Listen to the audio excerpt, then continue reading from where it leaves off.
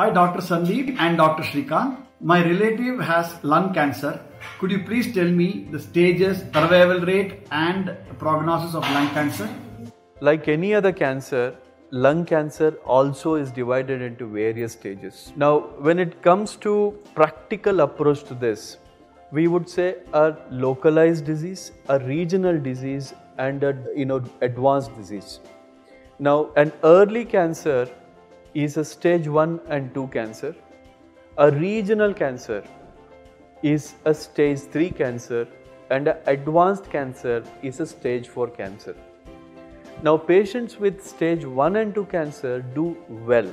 Stage 3 cancers are intermediate where the lymph nodes are involved and stage 4 cancers are advanced cancers and they don't tend to do well. We can't give a cure for these patients. Now, as we go on with this series of videos, in the next few episodes, we'll be discussing about these various stages of cancer in more detail and we'll understand the nuances of the treatment and their prognosis. Every cancer should be treated in a stepwise manner. Once you are diagnosed with a lung cancer, the next important step is staging. So, why do we need staging? Staging helps doctors to communicate among themselves and it also helps to predict the prognosis of the patient and it also helps in deciding the treatment plan which we are going to give for the patient. So it's a very important step. Lung cancers are mainly divided into small cell lung cancers and non small cell lung cancers, which comprise nearly 95% of the common lung cancers. Remaining 5% are very rare tumors. Small cell lung cancers are mainly in the central part of the lung, and these are aggressive tumors and they spread very fast. So these are mainly staged into two that is, limited stage small cell lung cancer and extensive small cell lung cancers. Apart from this, small cell lung cancers comprise only 10% of all lung cancers.